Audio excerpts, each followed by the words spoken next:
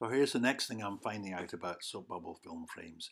Originally I had a PVA frame around the outside to lift the frame up, but now I've put some tubes inside, a little bit of PVA tubing in both sides, and uh, the strings fixed in the bottom.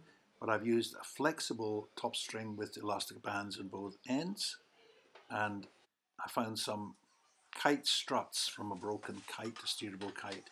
Elastic bands around the bottom to help them to fit well into the tubes, and then fill it with liquid and you can hook the two elastic bands up onto the edges of the sticks and that makes a really good frame, much easier to carry around. Now I thought it might be good to have it square so I came up with the idea of putting a washer onto each side so that you can actually adjust the shape of the soap bubble film. So slide one onto one side, one on the other side and lift it up and as you do so you just have to stretch it out using elastic bands. I have a row of three so I can make it tight or less tight. So it's quite tight here.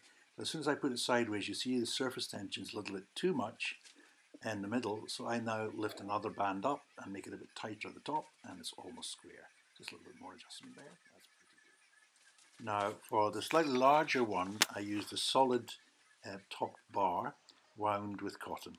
Again, the two tubes at the side and there's the wound bar.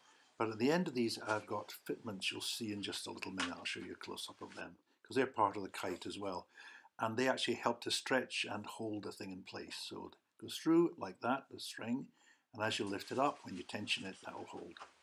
So there's the side sticks going in as before, using the elastic bands to make it nice and tight. And then these two sticks will, two side stri uh, strings will come up, fix them with elastic bands at the top, and then we can slide the whole film up. You probably have to put it up and down three or four times to get it wet, maybe even five or six times, but it will eventually hold the film nicely. And you'll see there's an angle, because of the shape of the side, side fittings, it pulls the string in at the bottom, pushes out at the top, and it will stay in position very nicely. So that's the best slide I've got so far. And that one did last for over four minutes. And that's my second version up to date, and I'm pleased with that one.